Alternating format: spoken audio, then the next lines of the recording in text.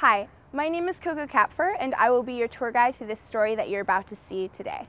This is a cautionary tale about what happens when students overconsume joining the vibrant and environmentally conscious community here at Pacific University.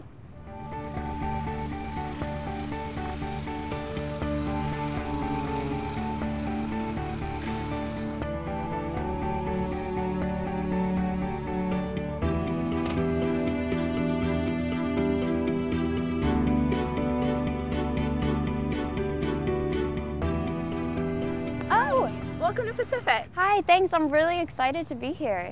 Can I help you with your thing? Yeah, definitely. I didn't bring much, so it should be pretty easy. Okay, cool.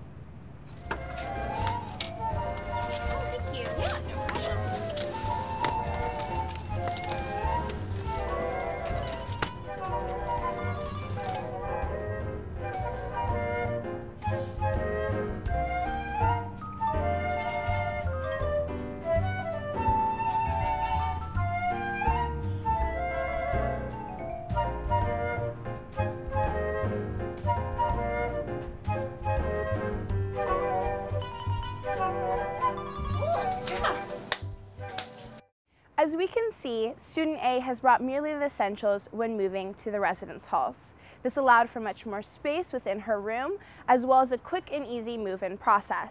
She's taken the time to look over the list of recommended belongings provided by our wonderful staff.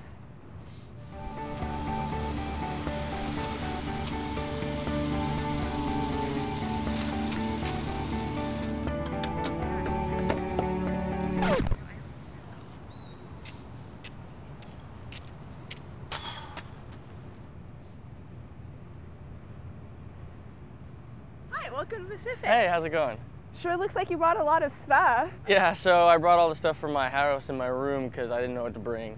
Can I help you with it? Uh, that'd be great because without you, I don't know if I can get it all up there. Okay.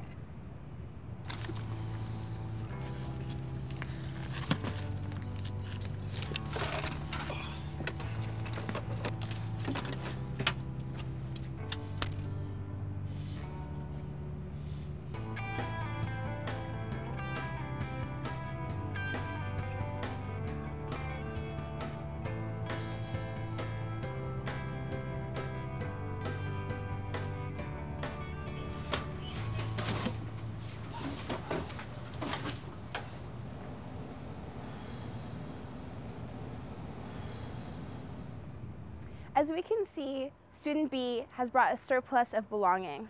We of course encourage students to bring what they need to feel comfortable. However, sometimes comfort can go a little overboard.